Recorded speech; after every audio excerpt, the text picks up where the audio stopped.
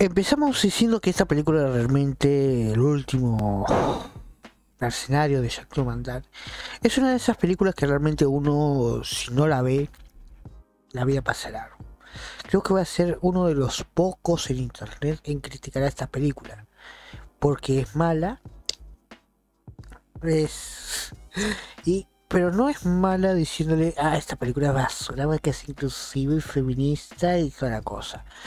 Creo que quisieron hacer un híbrido de poner personajes multicolor.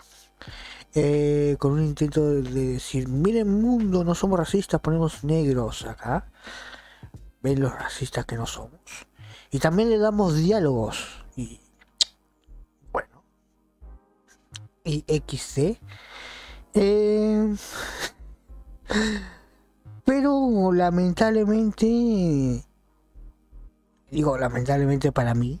No es lo suficientemente inclusivo para quejarme no es lo suficientemente progresista para acá decir, ay, qué asco, él da el asco. No es malo con M de muy, muy, muy malo, no, no, no. Es una película que lamentablemente tiene sus cosas buenas. Tiene un humor satírico. Las comillas van volando. Porque esta cosa sí intenta hacer algo de acción y tiene escenas exploradas de acción.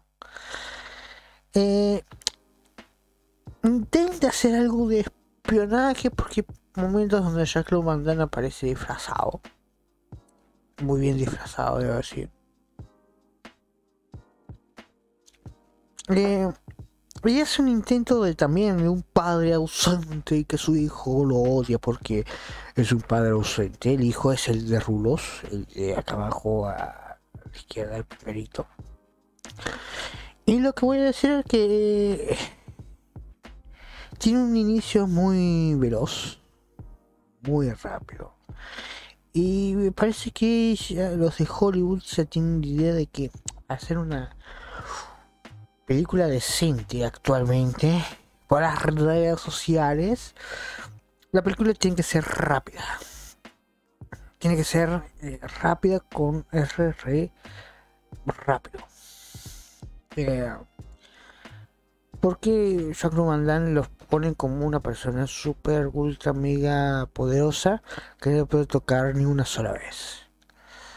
Eh, nos presenta un villano que está obsesionado con Scarface hasta el punto de creerse Tony Montana. Le voy a decir lo que me gustó mucho ese personaje. Eh, tenemos al muchacho que es un capaz inconsciente, un millennials con todas las letras.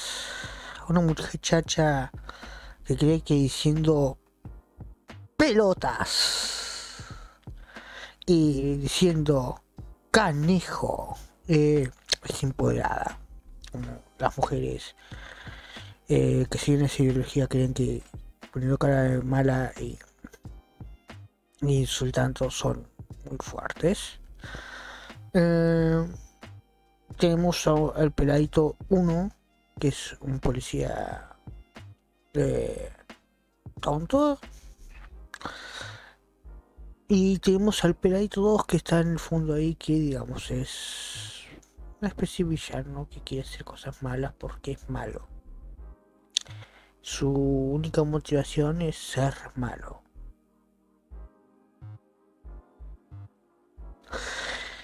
Y adentro de la película hay acción, y adentro de la película hay espionaje, adentro de la película hay comedia, y adentro de la película hay tantas cositas así salteadas, como una ensalada rusa, hay cosas por ahí, cosas por allá, mayonesa, papa, eh, zanahoria, arberjas todo mezclado.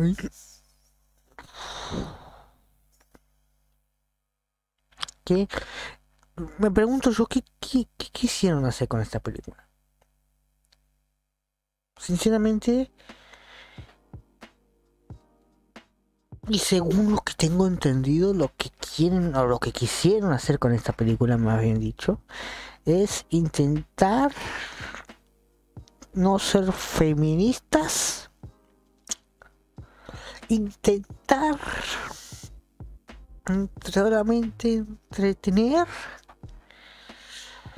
e intentar llevar algo distinto y, y cómico eh, a la vez con un poco de acción eh, eh, y algo de comedia francesa que tiene sus, sus toques especiales, sus toques locos, alocados. Ah, pero lamentablemente quieren solamente un intento, es que es un revoltijo. Llega un punto tal que uno dice, ¿por qué? A ver, la acción me parece correcto, está bien. Tienen un actor que es un héroe de acción clásico, Jacques Van Damme. Uno de Jacques Jean-Claude Van Damme, eh, que es súper reconocido y toda la cosa. Yo realmente creo que para lo que es héroe de acción, que simplemente hay que ser malote y dar patadas y aprenderse los diálogos, es un muy buen actor de cine de acción. Eh, no estoy diciendo que es una acción menor, un actor menor, nada por el estilo. Todo lo contrario, es una superestrella.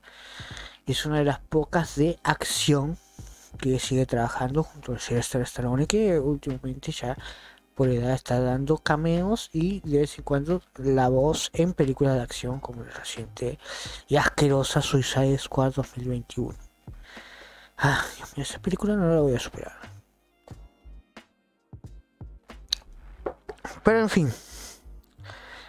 Eh, para terminar esto, porque no, no hay mucho que comentar, la verdad. La película llega a un momento tal que en la primera parte te quiere aplastar con tanta información que uno se queda pensando, ¿no? Se queda pensando en decir, chicos, tienen dos horas. Dos horas para presentarme los personajes. Eh, y dos horas bien bonitas para que este intento sea un poquito más natural. Pero todo al principio es tan atropellado. Tan atropellado. Que uno mismo se queda pensando. ¿Por qué la necesidad de, ser tan rápidos? Tan, tan brutalmente y asquerosamente rápidos. Digo, hay, eh, hay momentos, hay tiempo, hay todo eso. Pueden relacionarlo con acción prácticamente y toda la cosa, pero entiendo que es comedia y la comedia tiene que ser rápida, veloz, justa y precisa. Pero de verdad, tanto tanto, tanto. Eh, yo a esta película le voy a poner un 6. Y le quito 4 puntos solamente porque no parece, estando en París, que la película se genera en París, no aparece nadie comunitizado, ni hay un ejército de zombies eh, queriendo dominar París, ni, secuestrando a Cloyd, eh, ni está Ladybug ni Chat entonces, y no hay referencias a los mayores héroes de Francia eh, y de París. Entonces le pongo un 6 por eso. Porque me decepcionó. No, no aparece Cat Ni Ladybug. Ni nada por el estilo. Está. Y hablando en serio. Es una película que simplemente eh, es divertida y tonta que la que lamentablemente tuvo un potencial bueno es la morenaza.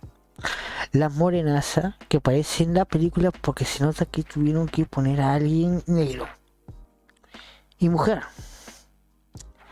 Eh, y lo que digo yo es, a ver, si últimamente van a dar personajes por sexo y color no me vengan a decir después que no son racistas. Porque el racismo es privilegiar el color de piel, o mejor dicho, acentuar el color de piel por sobre la persona. O los pones en un trabajo por negro o los matas por negro. Sea cual sea la acción, simplemente si lo hacen por negro, se llama racismo. De acá a Japón, a China, a Estados Unidos, a Europa. Y estoy mencionando los sectores más racistas del mundo. Y lamentablemente esta morenaza en un principio me cayó mal. A la mitad de la película no me cayó. Ni bien ni mal. Y al final de la película me cayó regular. Y listo. Y hablo de ella porque se nota que es la inclusive del grupo. Y es lamentable. Digamos que si no estaba ella, no había películas de Netflix. Pero generalmente la película es una película de acción basura. Eh, como, acción chatarra. Como las comidas chatarras. Y listo. No queda más que en eso. ¿Qué es eso? Ahora sí. Si no la vieron, está en Netflix. Dura dos horas. Protagonizado por Jacques Van que tiene garantía de acción física, de persecuciones muy bonitas, de explosiones y tiene un monólogo muy interesante en algún momento que él habla, digamos, habla como padre y tiene un monólogo muy interesante. Pero en perspectiva, la película generalmente lo que debió haber hecho es agarrar un género comedia, comedia y acción y explotar eso al máximo. No, comedia, acción, drama, romance, un poquito de ya, ya, ya, ya, Porque cuando picoteas mucho, no te terminas satisfaciendo con nada. Y acá pasó eso. Hicieron poner tanto, tanto, tanto, tanto, tanto, tanto, tanto, tan rápido y tan comprimido que al final no te satisface mucho ni con acción, ni con el romance, ni con la aventura, ni con nada por el estilo. Es una película me pero tampoco es una película asquerosa. Creo que es una película simplemente no va a llamar tanto la atención para merecer críticas. Y va a pasar lamentablemente desapercibido en la amplia en el amplio catálogo de nuestro querido amigo, compañero y hermano eh, Netflix. Ahora sí, chicos, por mi parte me despido. Un like, un me gusta, una compartida y muchísimas gracias por todo. Suscríbanse para más videos así. Eh, por mi parte me despido.